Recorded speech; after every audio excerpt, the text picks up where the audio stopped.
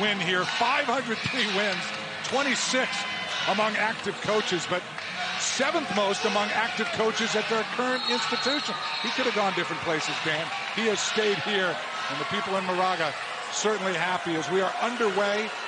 Brigham Young in the blue, St. Mary's in the home red.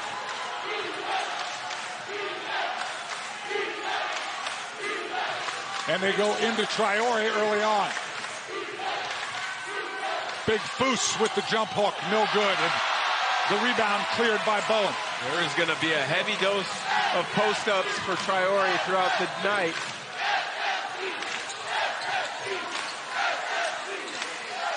St. Mary's will start Logan Johnson with Mahaney, Ducas, the great three-point shooter, Bowen, the defensive specialist, and the big man, Mitchell Saxen. Saxen going to Traore. The left is off, and George clears for the Cougars.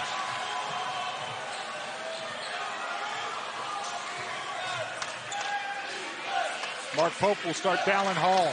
Jackson Robinson, the three-point specialist. Spencer Johnson, Gideon George, and the center. Undersized, but bigger and stronger than most, Fousseyni Traore. Johnson hits the first three of the game. 3 nothing Cougars.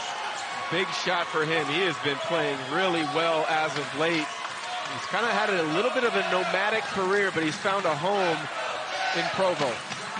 Told us pregame he put on 15 pounds, is stronger, and uh, feeling more athletic with the weight.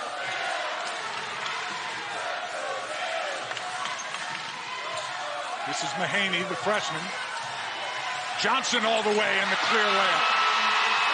Because Logan Johnson has been able to knock down threes in previous games, it sets that up. You close him out as if he's a shooter. With his quickness, he can get direct line drive to the rim. Robinson off the mark. Ball goes out of bounds. It'll stay with BYU. Yeah, you mentioned Johnson. He scored 31 points at LMU and 34 at Portland last week. So first Gael since Jordan Ford to go 30 or more in back-to-back -back games. There's Mark Pope, the head coach of the BYU Boogie, uh, Cougars. Fourth season in Provo, and under him, the Cougars just 4 and 11 against ranked opponents. But uh, he did get his 50th victory this week, his 80th victory this season earlier in the year. Traore with the jump hook, and the Cougars going inside. That is going to be a battle all night long. Traore backing down to get to his sweet spot. Saxen Caught an elbow in the chin that time. Good finish.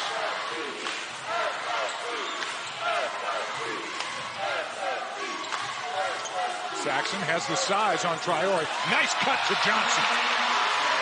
That's picture perfect St. Mary's basketball. Throw the ball in the post, split screen action, make the defense make a mistake, and you come away with a layup.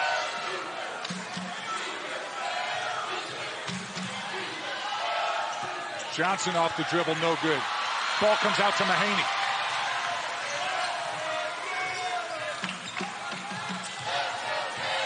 Mahaney, the left runner's first shot's no good. Saxen puts it back. Well, if George and Traore come over from the weak side to, to attempt a blocked shot, it's going to open up the backboard. Saxen, the recipient of that offensive rebound putback. Hall too strong on the layup. Another board by Saxen.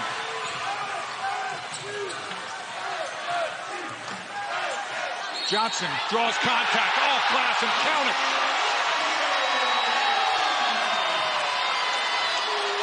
Logan Johnson likes it. This crowd likes it. He has really grown into becoming a terrific player at the college level. Grew up in the Bay Area, went to Cincinnati for a year, wanted to come back home. He has continued to improve year after year. A terrific defender, but he's really created nightmare matchups for others because he's so slithery and slippery getting to the basket. 6 nothing run in less than a minute for the home Gaels.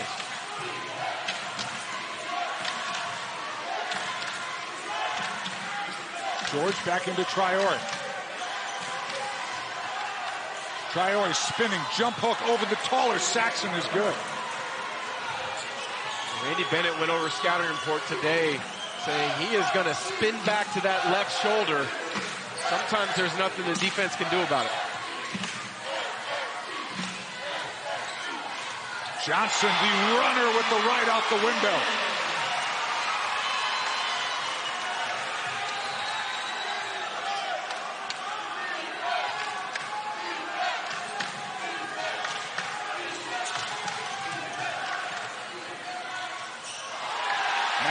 By Saxen.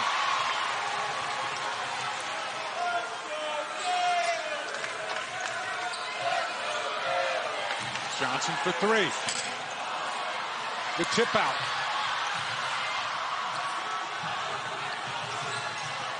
Hall back to Robinson.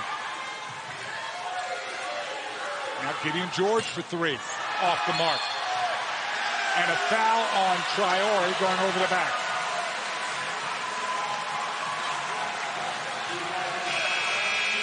Pretty fast pace to start this first to the media. Eight of their 10 points. You see the numbers there.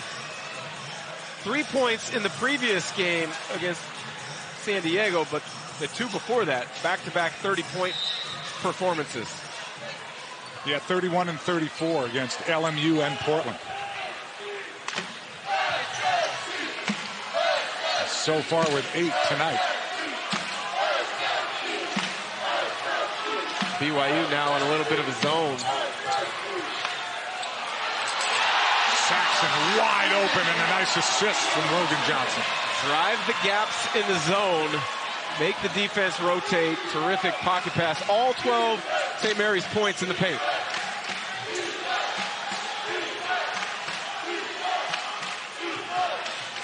Traore going back. Jump hook is off. Another board by Saxen. Each possession that he has the ball on the block, his left shoulder is going directly into the chest of Mitchell Saxen.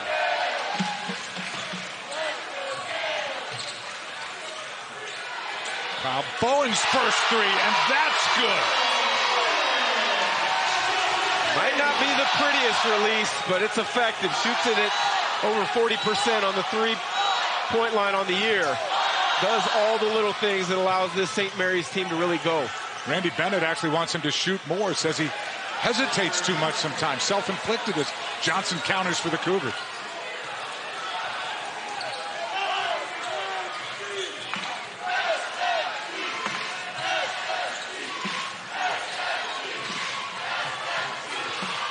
Steal by Johnson and then a steal by Spencer Johnson and Logan Johnson had to reach in and foul.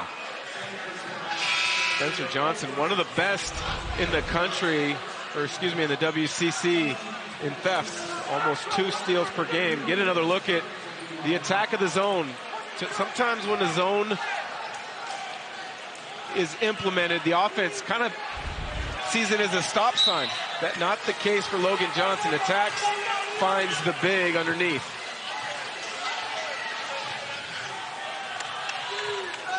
Rudy Williams, super sub for BYU, number three is in. He had 20 Thursday in the loss to Santa Clara. Spencer Johnson, no good. Ball goes out of bounds off Saxen, stays with the Cougars. And that's something I expect to see a decent amount tonight as well as the rest of the season against St. Mary's. Mahaney learning as a freshman how to guard in personnel. It's not that he's a bad defender, but people want to test him. Williams lobbed it up. Traore came down with it. Now Noah Waterman into the game and into the scoring book with a three.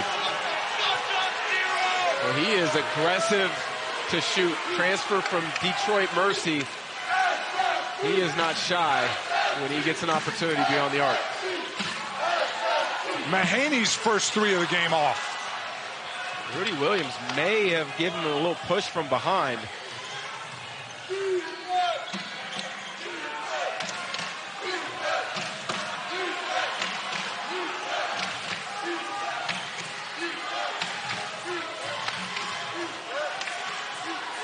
Back to Traore.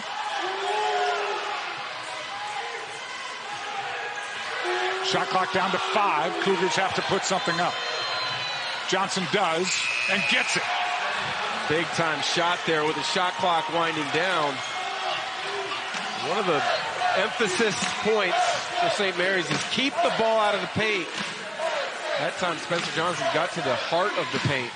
Game of runs. St. Mary's already had a 7-0 run. BYU on a 7-0 run. And now turnover by St. Mary's. And we will take a timeout. Number one team in the conference is St. Mary's around with just two weeks left. Is it possible that St. Mary's is underrated even though they're ranked 17th? I think they are. And I think a lot of the reason why is Gonzaga's gotten so much of the shine over the last 20 years in this league. But Randy Bennett has built a, big time program here. They don't play the fanciest or flashiest style, so a, a lot of fans kind of disregard what they do, but they are a tremendous basketball program. Atiki Ali Atiki, number four, in for Mark Pope and the Cougars. Williams for three. Atiki with the rebound.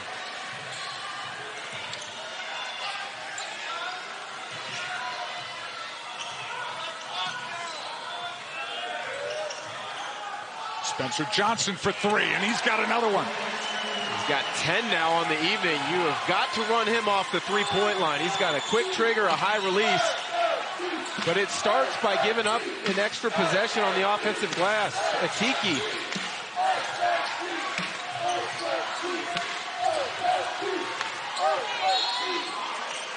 And Ducas got bumped along the baseline.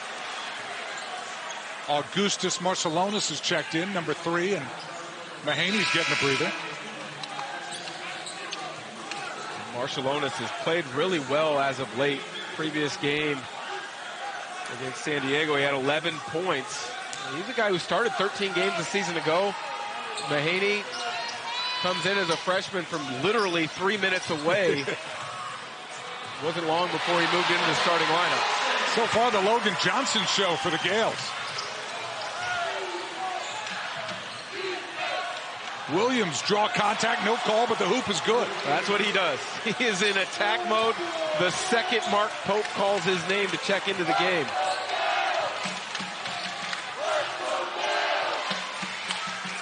Nineteen seventeen Cougars. Marciulionis lost his footing but drew the foul. If the name's familiar in the Bay Area, it's because his father was a big-time player for the Warriors, Sharunas Marciulionis. NBA Hall of Famer, great player for the Warriors. And as you mentioned, started early on until they said, we just can't keep Aidan Mahaney out of the starting lineup. And I talked to Randy Bennett earlier this season before another game that I called, and he thinks Marciulionis has the makings of being an all-league type of guard. Saxen no good. Saxen again got fouled. Gaels want goaltending. Don't look like they're going to get it, but they will get the foul, and Saxen will shoot two.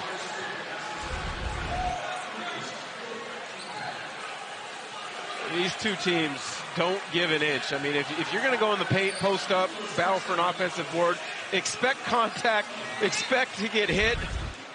There's no such thing as an easy bucket in this game. First one off by Saxen, who's first in the WCC in blocks, second in rebounds.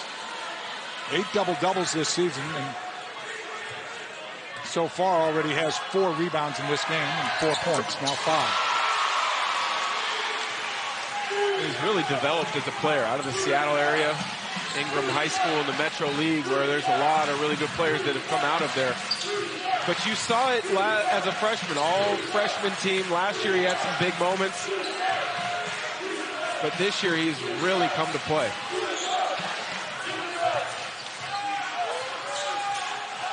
George, tough turnaround. Here comes St. Mary. So we have 17th ranked St. Mary's and BYU. Dave Feldman, Dan Dickau. St. Mary's in first place in the WCC, a half game ahead of Gonzaga as Marciulionis is off. Gonzaga already a winner today against Pepperdine. St. Mary's and Gonzaga will play Dan in that final game. Yeah, it should be an incredible atmosphere at the McCarthy Athletic Center. But speaking of Gonzaga, Drew Timme with another unbelievable performance. today. 15 of 20 for the field, 34 points. Johnson left alone, and Marcellus found him beautifully. Marciulionis with the dime.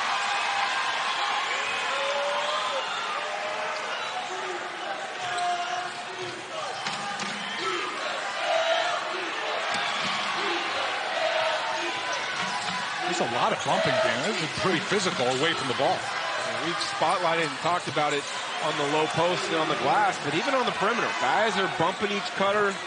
As you move to go into a screening action, you're getting knocked off your line. Williams has four, had 20 off the bench against Santa Clara on Thursday. That was a loss to Santa Clara by BYU.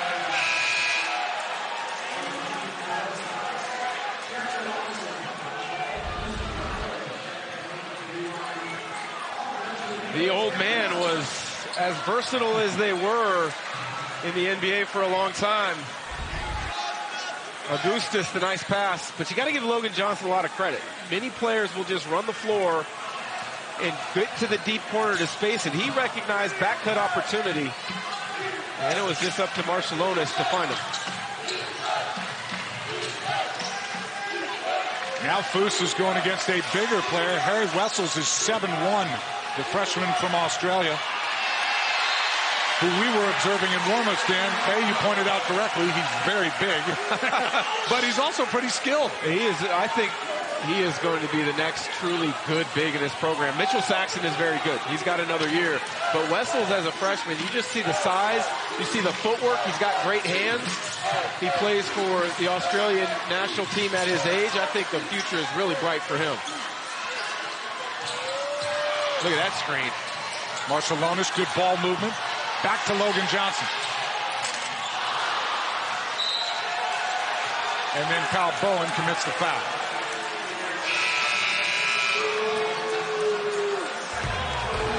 Tight game so far in Moraga. 21-20. I like the haircut. You know who's coming next, Dan, don't you? I you have don't. an idea? Look at the hair. Look at Dan Dickau, the WCC Player of the Year in 2002. Well, there's a little gray sprinkled in now, but uh, to be mentioned, to be mentioned with those names is great. I mean, Adam Morrison could have been up there with with players of the year. That's, qu- that's quite a list you're on. it's, um, it's it's humbling. I mean, it's pretty cool to be mentioned alongside some of those guys. I mean, Dan did play in the NBA for six years. He, it's an incredible career, and that list is, is insane.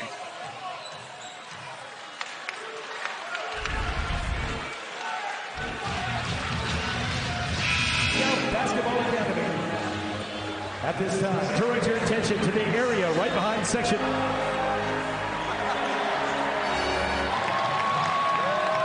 Dan Dickau, jersey retirement, February 9th versus USF. Number 21 will go up in the rafters. How special a moment was that?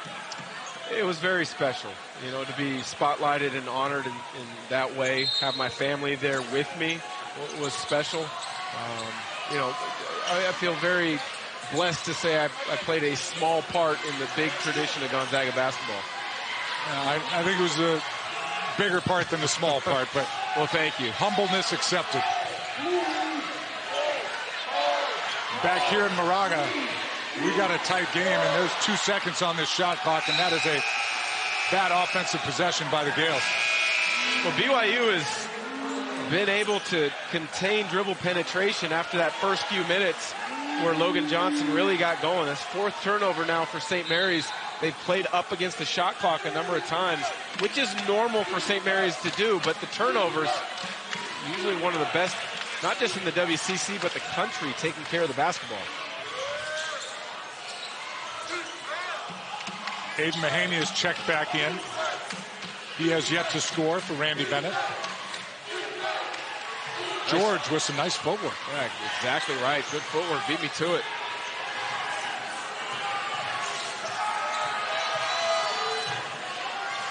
Hall had it blocked. Got it back. Shot clock keeps running. Now there's seven.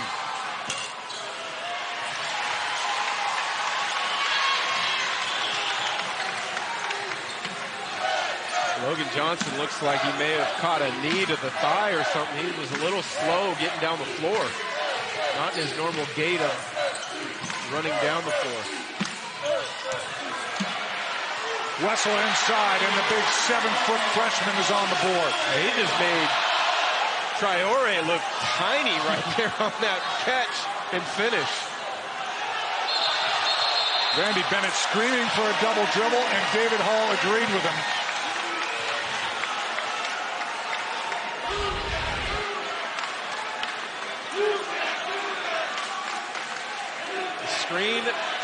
And go straight to the front of the rim. A little slow to develop, but good hands, patience, understanding. You've got the size advantage. Take your time. You're right, Dan. It's hard to make Traore look tiny. He did. Yes.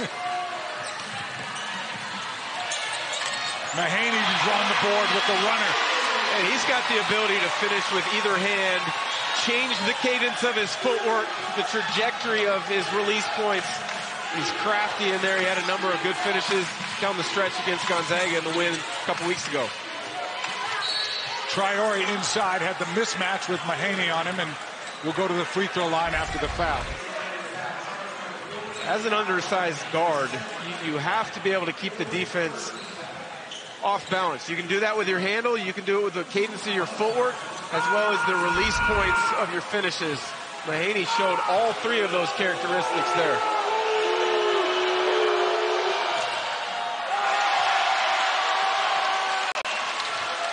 Hey, here's our next ACC Big 12 Monday doubleheader at 7 Eastern. Kyle Filipowski and Duke host El Ellis in Louisville at Cameron Indoor.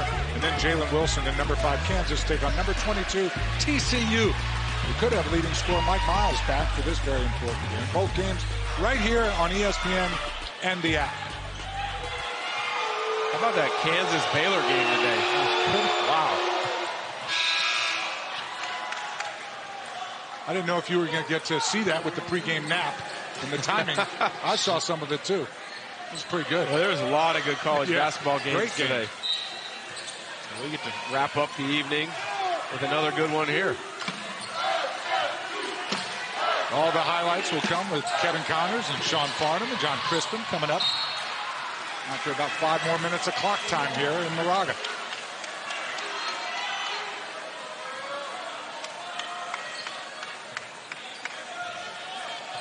So far this pace, Dan, favoring BYU? Well, the early portion of the game definitely favored you, uh, BYU. I think it's slowed down a little bit uh, by design by Randy Bennett. It's play, being played now at a St. Mary's tempo. Saxen has to shoot. Barely got it off, and it doesn't go.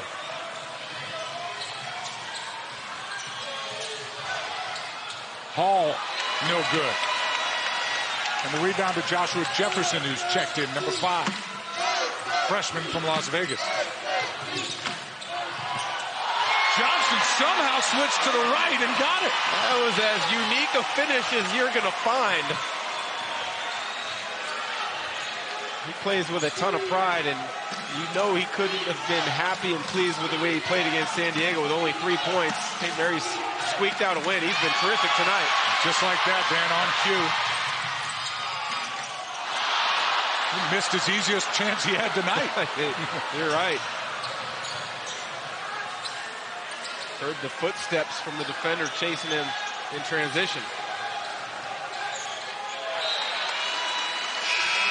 Uh, Tiki and Gideon George had their signals crossed, and so a turnover.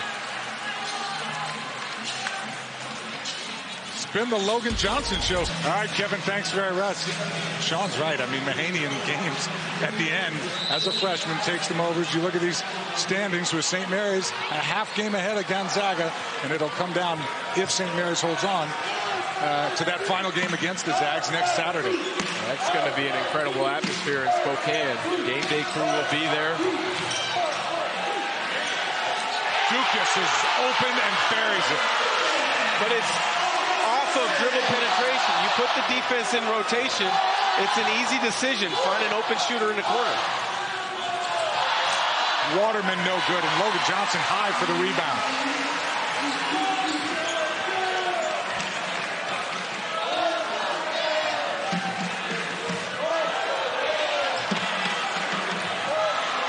Ducas again.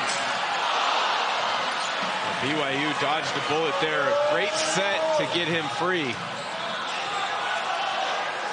Troy uh, Traore down way low, but missed it. Lost his footing.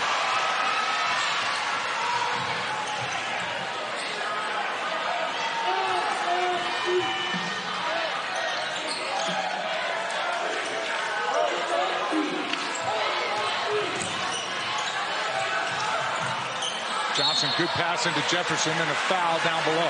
That's what experience does, though. Logan Johnson, maybe as a younger player, would have took off of one foot. You always hear coaches preach, play off of two feet, or if you don't have it, keep your dribble alive. Johnson did that. Instead of forcing a layup, he was able to find Jefferson on the cut. Jefferson's a unique player. I, I think he's got a chance to be a good player out of Las Vegas, Liberty High School a team last year that actually broke a nine-year state tournament streak for Bishop Gorman. Scored the final six points of regulation before they won it in overtime. So you know he places a value on winning. And those are the kind of guys that Randy Bennett wants in his program. Seven-point lead for St. Mary's right now. Foul was on number five, Gideon George. David Hall clarifying with us. You know what I've been impressed with so far, Dan, too? Aidan Mahaney doesn't force it. You know, sometimes as a freshman, you might think, okay, I haven't scored a lot of it. He kind of lets it come to him. And that's what the good point guards do. They search out and they feel the game, and they recognize if you can score as a point guard like he does, when is my time to look for my own shot? And, you know, he's from all accounts, he did that in high school, and now he's really learning how to do it at the college level. He's got a coach that trusts him, believes in him, and allows him to do just that. And to your point, maybe not necessary yet with Logan Johnson off to such a great start. Yep, and that's part of the IQ that he has. He understands. He's got other guys going. Spencer Johnson for BYU, 31-24, closing in on two minutes in the first half.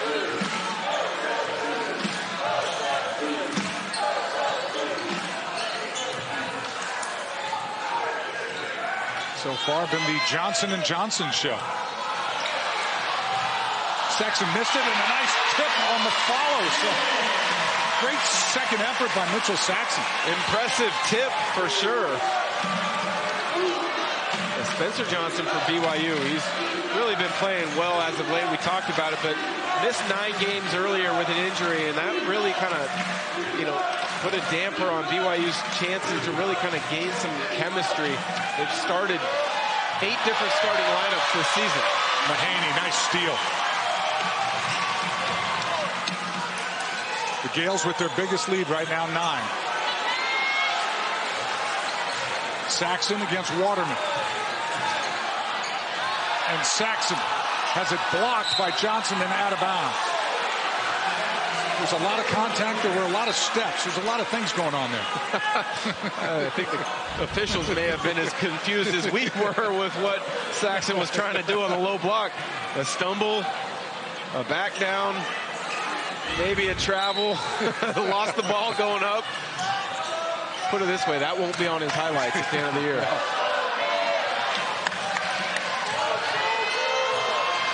Mahaney in the corner.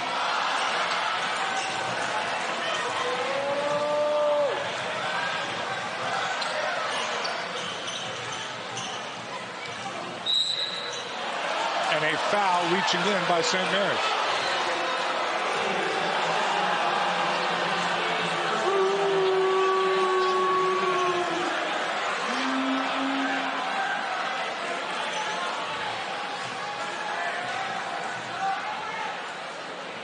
Only four fouls on St. Mary's, so BYU inbounding. Williams gets separation.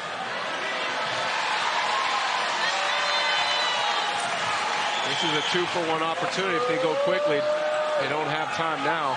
That's something I wish in the college game more programs and players would understand.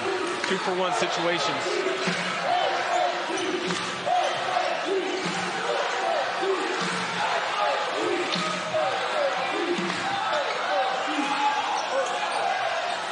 Five on the clock. Mahaney's got to do something.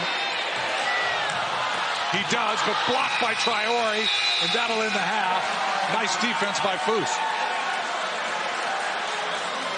So nine seconds left. That was a premature halftime call.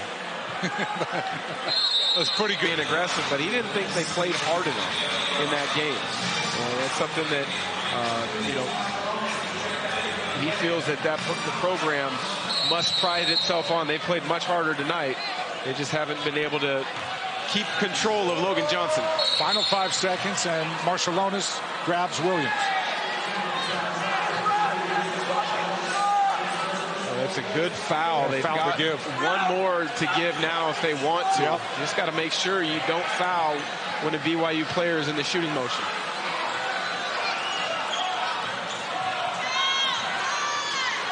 Williams for three. Yes! And that's why you give that foul. Jefferson up top, hedging that ball screen, had an opportunity. Coach Randy Bennett asking the guys before they headed in the tunnel, why didn't you foul? kind of got that throwback game where he's very efficient. He'll catch and shoot.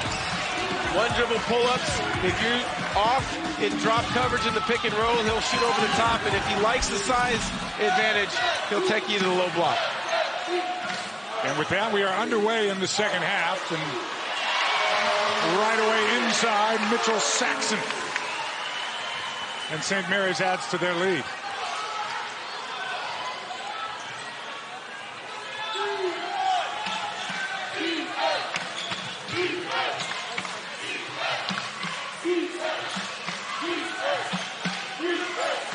Traore fouled. Saxen, bad position and tried to go over the top of Traore. Second foul, but that's an unnecessary foul. St. Mary's defensive philosophies are built on making you score over the top and keeping the guy in front. That time he simply reached, picked up a silly one. Logan Johnson with the 14, Spencer Johnson with the 12. Is, both have shot the ball extremely well. St. Mary's, Logan. St. Mary's has numbers if they want to take advantage of it. Aidan Mahaney, only two in the first half. Something to look at, Dan. Oh, one of five from the field. He hasn't been aggressive to score. Logan Johnson's been really good, but the ball will be in his hands plenty, especially if it's a close game.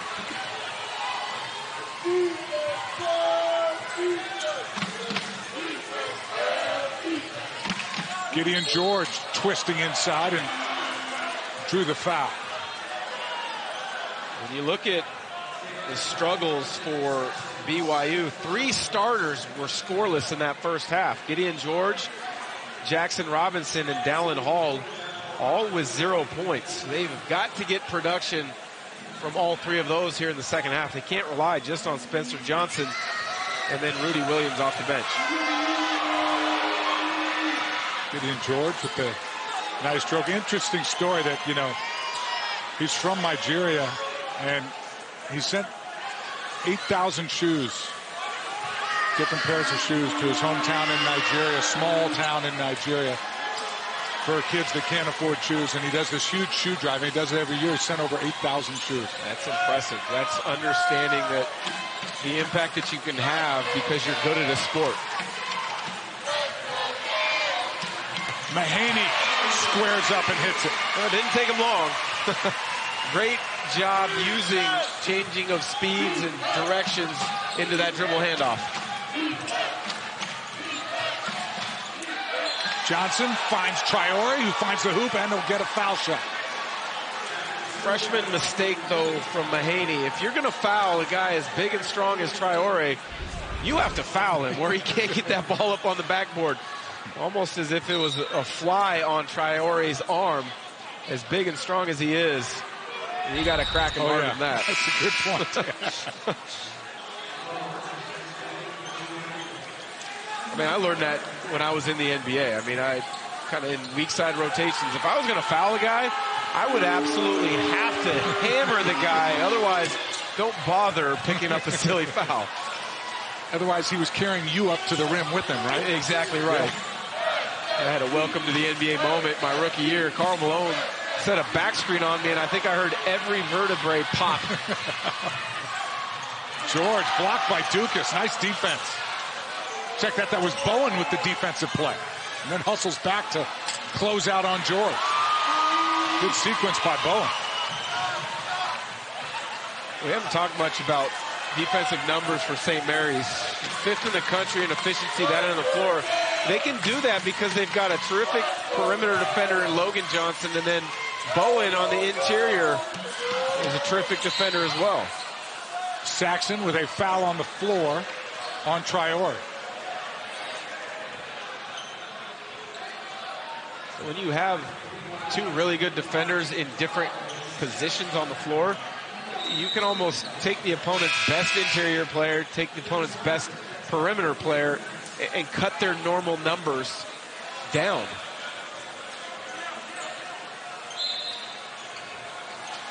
What a play.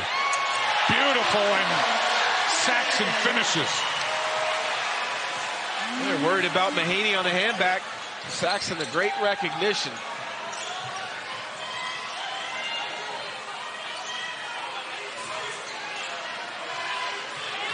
Traore asks for some space. They give it to him. And somehow banks it in.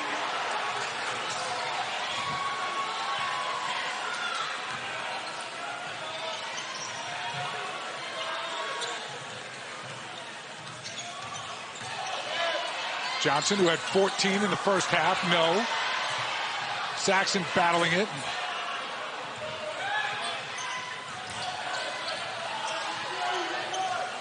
Traore late to join the team on the other half, and he finally does.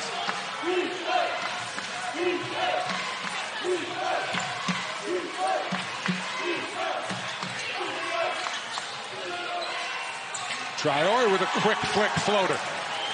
Still checking his forehead after that last battle for a loose ball with Saxen.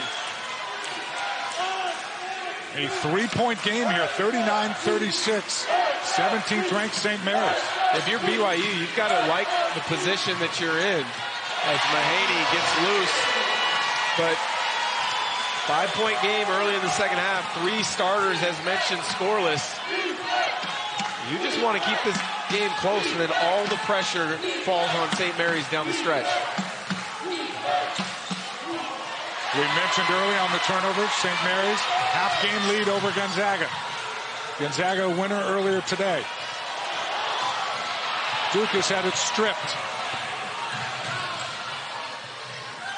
Dallin Hall waits for Waterman, and Waterman knocks it down. It's a three-point game.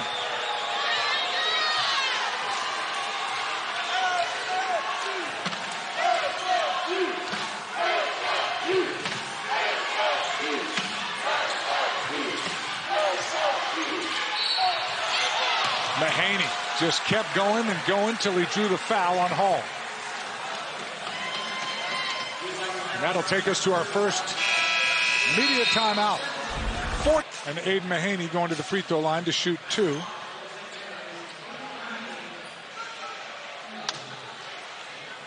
And as you pointed out, Dan, second half is normally when he sort of picks it up. Good point guards feel the game out. Uh, learn what the defense coverage is in situ situations such as pick and rolls, wide pin down screens, dribble handoffs, and then you make your adjustments accordingly in the second half. Two jumpers already in those two free throws as well. Mahaney with eight. The lead is four.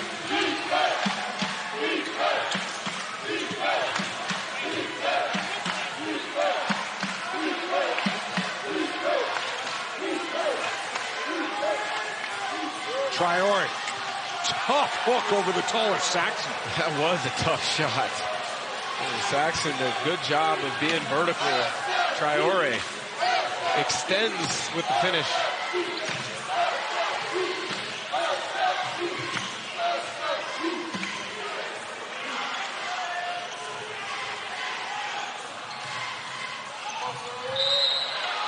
Johnson fell to the floor and they'll call a trip on Richie Saunders. And they changed it. The foul will be on Williams. But you mentioned Mahaney having the ball a lot in his hands. Well, you can already see the start of the second half. They've run more pick and rolls in the top of the floor for him. And he's so good and creative about changing angles, manipulating switches. So when he finds a crack, he's ready to make the correct read and play. BYU with a chance to take the lead here.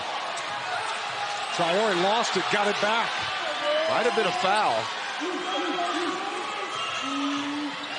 Williams lost it. Mahaney steals it. What a pass. Beautiful.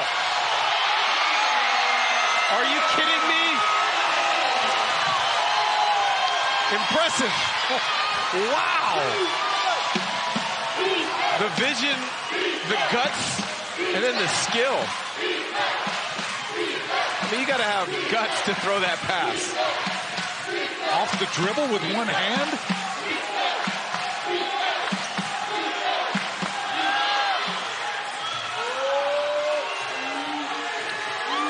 Williams has to shoot it.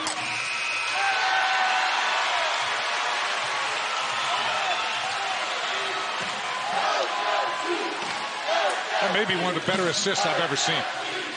It's up there for sure this season in college basketball for me.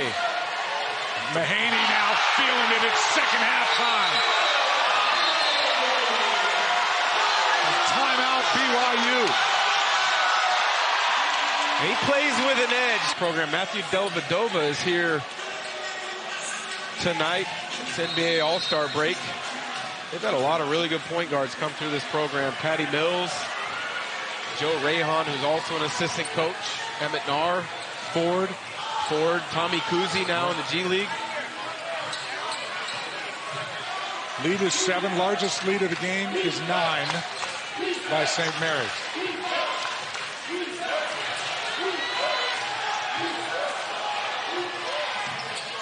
Trey Stewart has checked in. That's number one with the shot that just curled out. St. Mary's ball.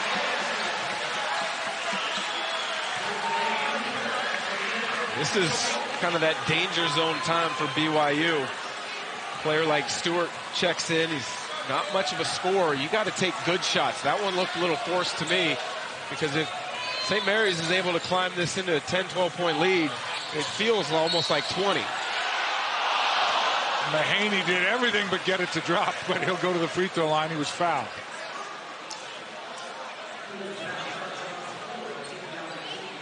Seems like he's getting all the way to the hoop now much easier, Dan, than in the first half. Well, I think they've made a concerted effort to give him more pick and rolls in the middle of the floor with spacing, allowing him to operate. And they've also got shooters that you have to worry about. Logan Johnson's gotten off to a nice start in the first half, so you, you got to be concerned about him. Ducas is a tremendous shooter. You can't leave him. And when you have options around pick and roll point guards, it's a tough cover defensively. So the lead back to nine, a 7 0 Gaels run. This is matching their biggest lead of the game. Williams in all kinds of traffic drew the foul, and he is single-handedly trying to generate some offense. And he can do that. Three times this year off the bench, he scored 25 or more. That's kind of his job. Come in and be aggressive. 28 against USF, 26 against Creighton, 26 against Utah, and most recently 24 against Santa Clara. The senior from Ontario, Canada, knocks it down.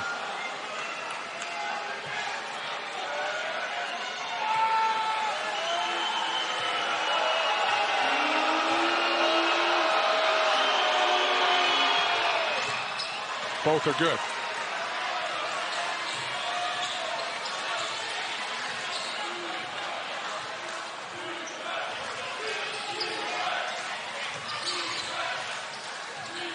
Johnson has only two in this half after 14 in the first half. And a late whistle after the shot on Gideon George. We've spotlighted just how physical it is on the glass. George gets called for the push. If you're going to call that one, though, you could call that on almost every shot attempt tonight because it is physical down there. Saxen with the left. Blocked by Atiki Ally Atiki.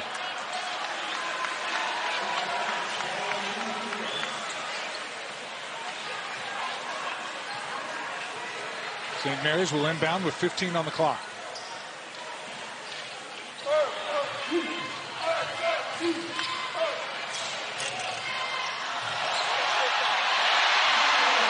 With the tip. That's what he does. Bowen makes winning plays, does so many little things that don't show up on the scoreboard.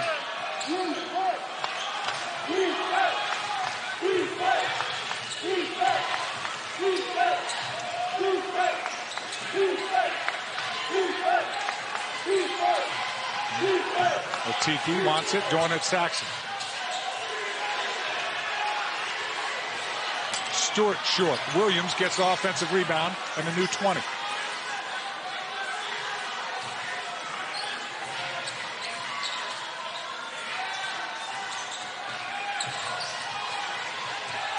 Williams left alone. And a foul on St. Mary's.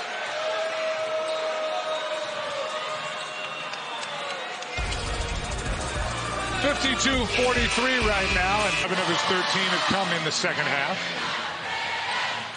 Three of four from the field. And this nine-point barrier so far, the largest lead of the game, and St. Mary's has had that a couple times.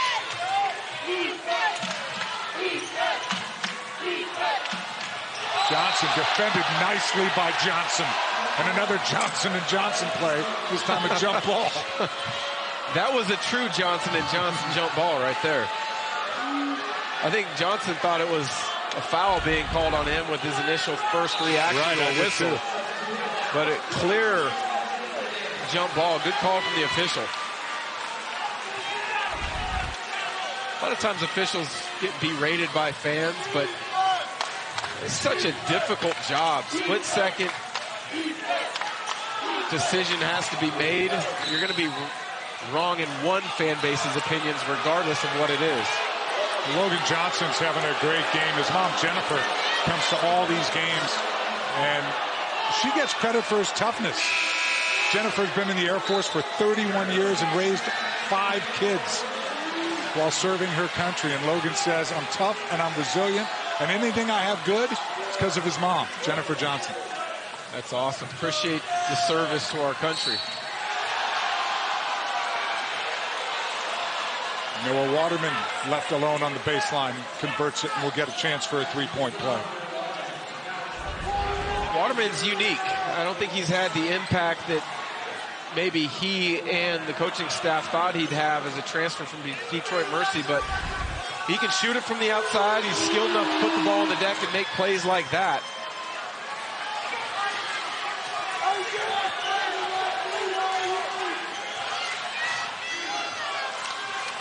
And the lead now down to just two possessions, perhaps.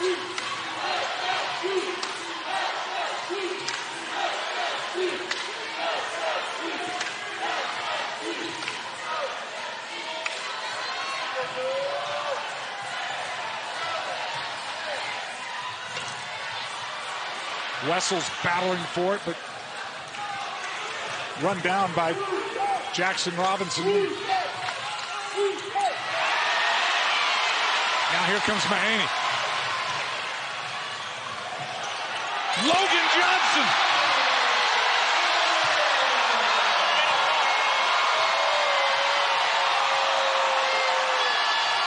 Some bounce for the senior from the Bay Area.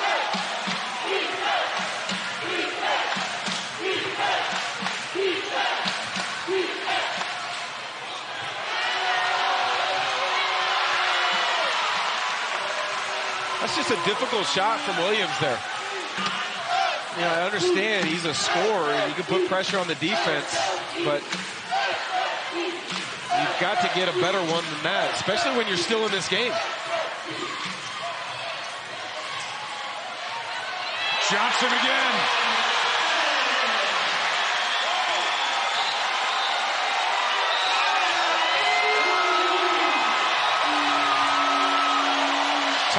Under Mick Cronin. Transferred back home to the Bay where obviously his career has really taken off. He's taken advantage of that extra COVID year. He could have been done, right. but he decided to come back, play one more year. I know Randy Bennett was happy about that. Yeah, grew up in Mountain View, went to St. Francis. And uh, a great local story here.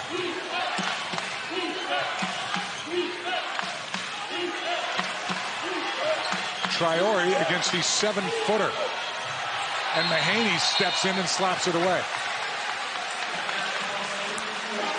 When the ball is entered to the post like that and Traore's, Traore's trying to back him down, you've got to understand when digs from the perimeter are going to come. He spun right back into Mahaney.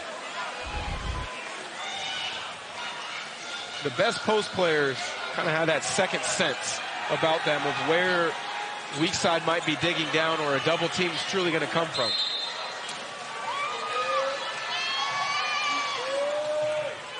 You know, Jaxson Robinson averages nine a game for BYU, hasn't scored as there's three on the clock, and Waterman has to shoot it.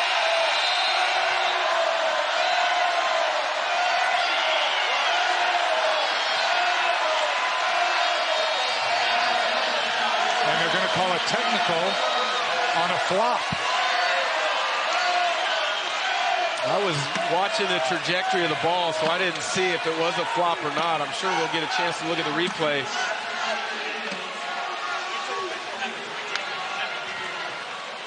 But it'll be that used to be a warning, and now it's just the tee. Yeah. It'll be a free throw, one free throw of the right. basketball back right. to St. Mary's.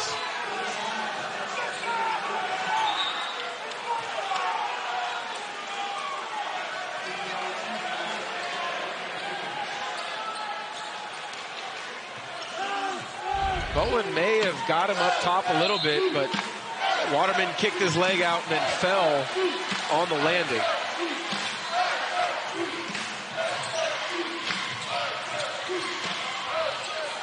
Mahaney going against the taller Waterman. Gets around him, stuck in the air. Wessels comes up with it.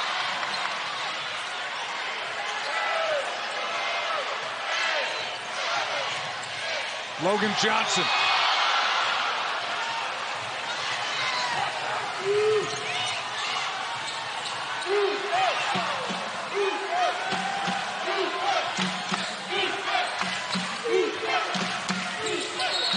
Williams. Offensive foul, pushing off on Mahaney.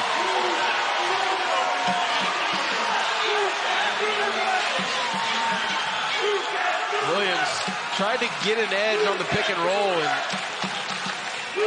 created the contact against Mahaney. Difficult one, but probably the correct one. You see, he's the one who went back into Mahaney there as Mahaney was trying to get back in front.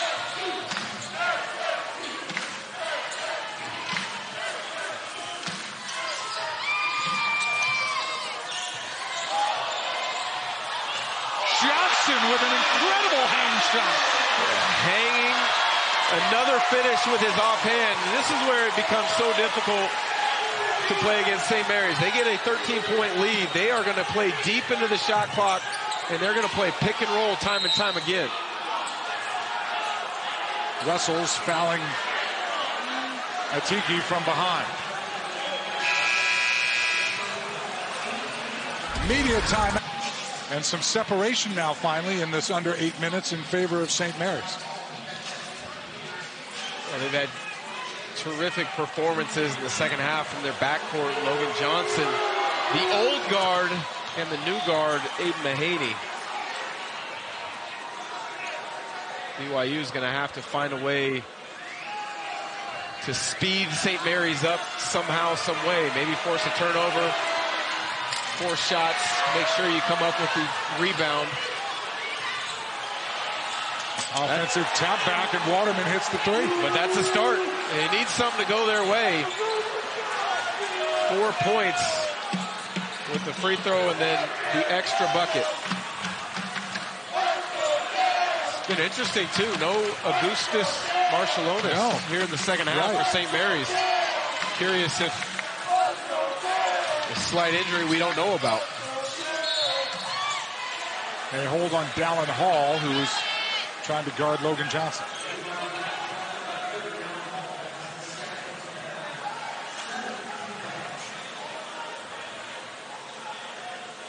Well, both teams are shooting now in the bonus.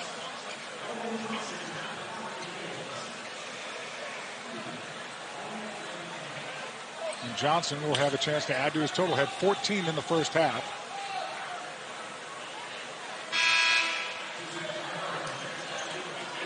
Has 22 on the night.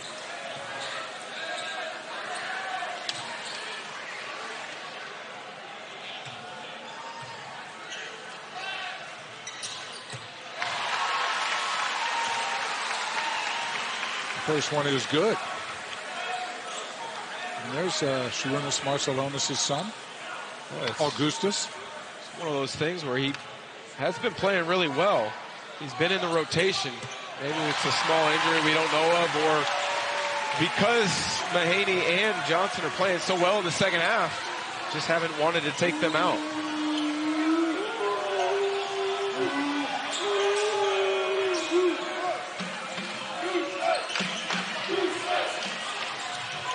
Saunders with a deep three for the Cougars. Well, that's how you get back into it. Back-to-back threes. Is the kind of fight that Mark Pope wanted to see in that disappointing loss to Santa Clara.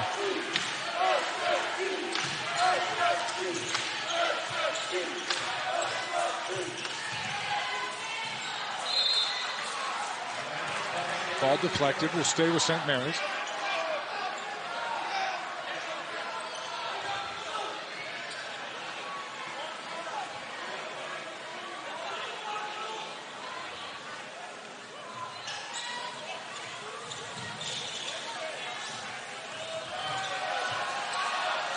Johnson, good spin.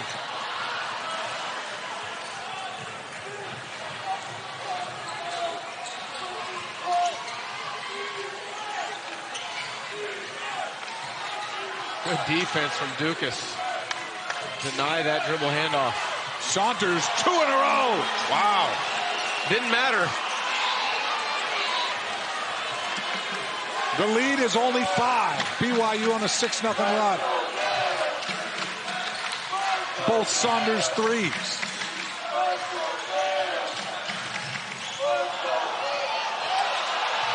Great pass. Ducas couldn't finish. All kinds of contact, no call. Saxen has it, and he's fouled.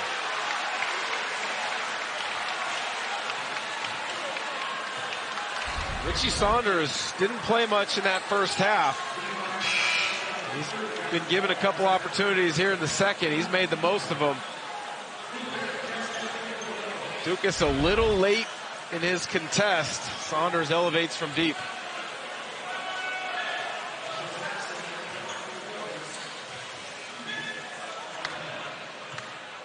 Mitchell Saxen at the free throw line. Has 12 points now to go with seven rebounds. So could have himself a ninth double-double before the night's over. Has eight on the season.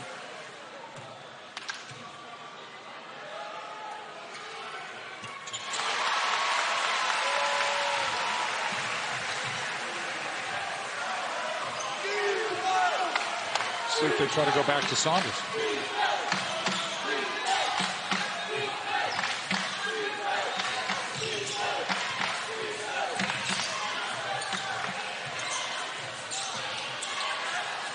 Hall muscling in over Mahaney. First bucket of the night for Hall. He must have saw something he liked as that play was developing because he backed down to get to his sweet spot. Moved back to five. It was 11.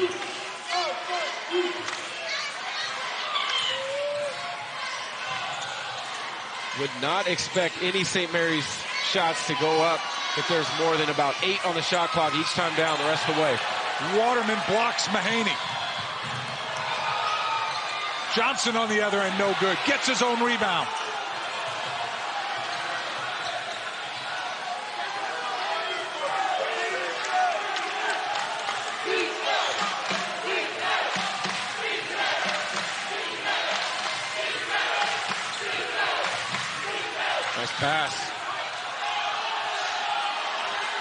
To shoot.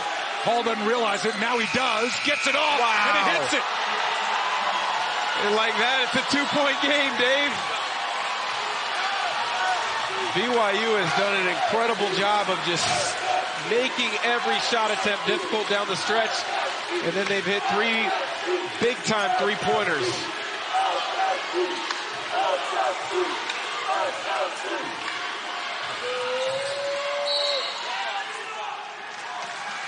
And a foul on Waterman. So we'll take a stop in the action. 63-61. Ready adjusted I'm, it. I'm not sure when uh, the truck adjusted the graphic on our screen.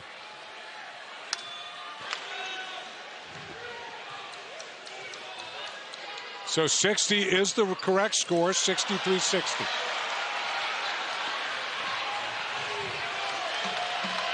Refs had a lot to sort out there. They did. we thought they were looking at a different play. I'm glad that they were on top of it, explaining to us what they were really looking at. David Hall is one of the best in the business. He's going to get it right. Hall trying to tie it up.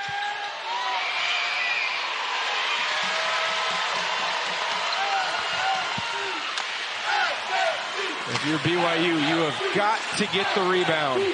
They have done a great job the last few possessions, not giving second chance opportunities.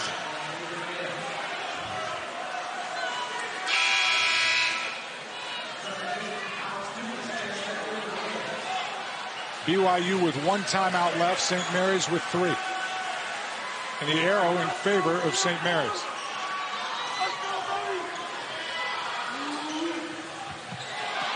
Bad pass picked off by Johnson. He waits. Dallin Hall hit the deck and wanted a foul. No call.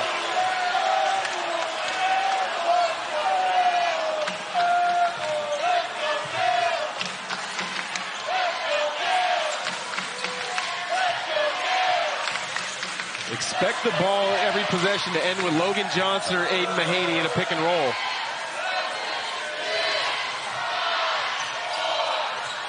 Three on the clock. Mahaney's got to shoot. He does.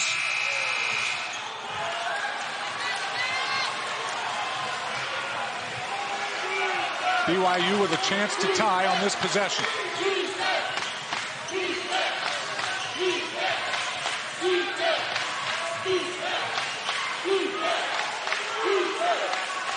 Into Traore, who reverses it. Wow. Heck B- of a finish. BYU within one. Yeah, that's the first time he's gone that quickly on the catch. Tremendous finish on the other side of the rim.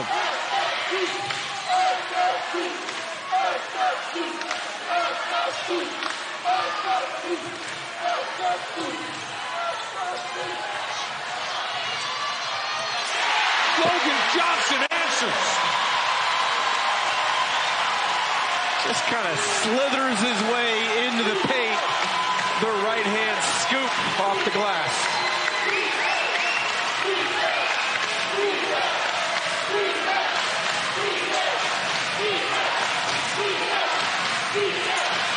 Dallin Hall, no good. Ball tipped away. Johnson has it. St. Mary's with the ball, a three-point lead, and 105 on the clock. St. Mary's will run this down well to zero on the shot clock. You want to run as much time off the clock as you can. Randy Bennett calls timeout.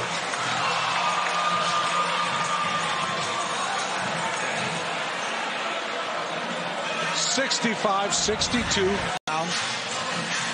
Ducas will inbound it.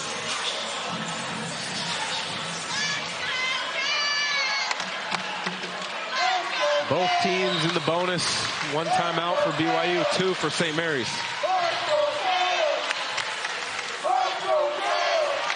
Now 10 for Mahaney. Mahaney for three. Got it! Wow. Traore was not up at the point of the screen. Mahaney recognizes it. A pretty good combination, those two right there. 26 and 16. Let's see what Mark Pope drew up. I'd expect a quick pick and roll high.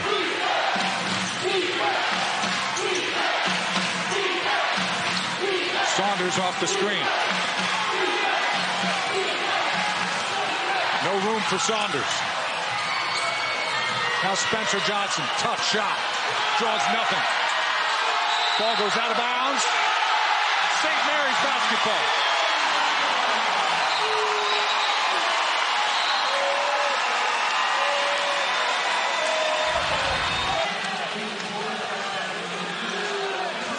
if you're St. Mary's, go to the basketball, expect pressure, expect them to go for a steal for BYU. Go for a quick steal. If you don't get it, then you got to foul. Yep.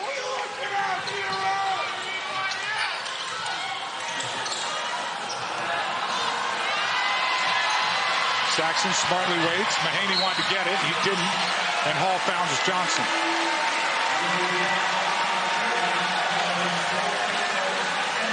And Marciulionis, an 80% free throw shooters back in the game.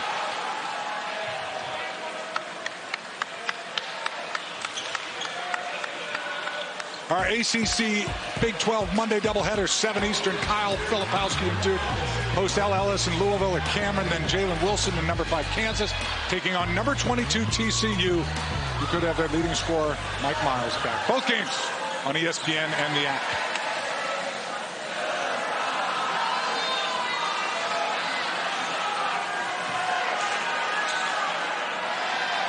Logan Johnson to shoot two.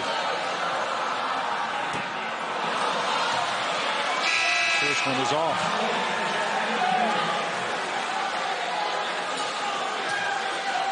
Bowen back in, Saxen out.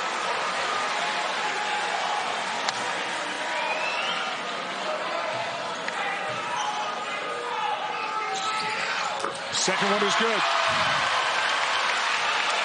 It's a seven-point game. Waterman had it stripped. Mahaney the other way, fouled by Hall.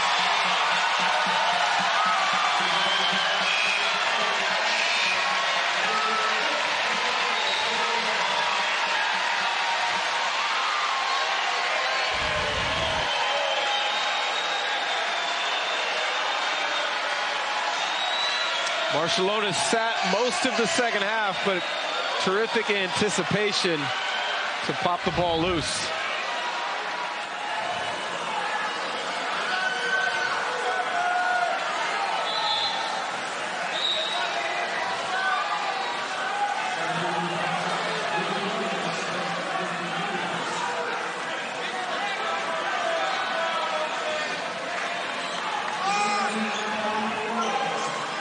College basketball live coming up immediately following us. Hope to hear from some of these players. Maybe Aidan Mahaney, who's got 16, 14 in the second half. Logan Johnson has 27. And Logan Johnson leads the game with 27 points.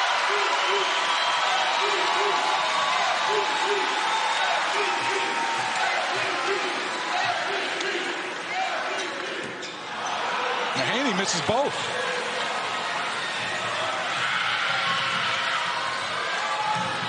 Williams three, got it. And then a foul.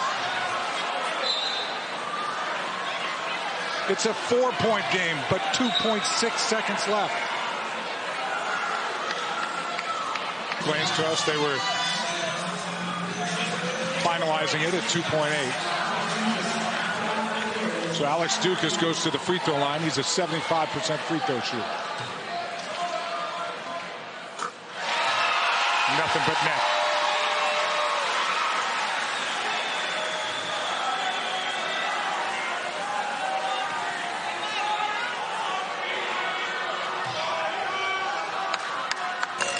Both are good.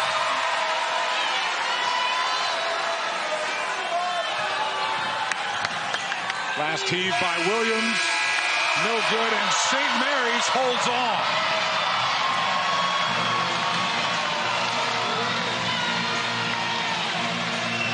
A great effort by Randy Bennett.